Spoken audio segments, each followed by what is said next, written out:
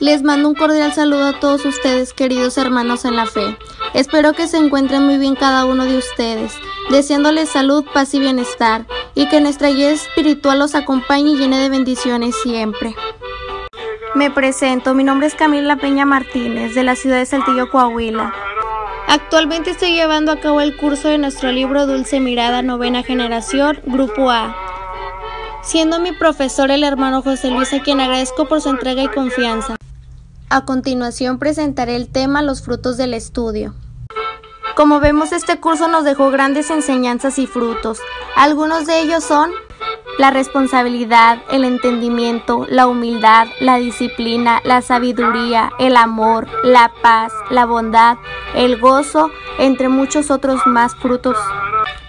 Todo esto nos enseñó Fidencio a lo largo que fuimos leyendo e interiorizando nuestro libro Dulce Mirada. Cada que nosotros leíamos las enseñanzas que nos dejó nuestra guía, adquiríamos un nuevo fruto para nuestra vida terrenal y espiritual. Cada uno de nosotros debemos estar agradecidos por las palabras y enseñanzas que ha dejado entre nosotros nuestra guía espiritual José Jesús Fidencio Cintora Constantino. Doy gracias por su tiempo y atención, hermanos. Que nuestra guía y mi Padre Celestial los bendiga siempre.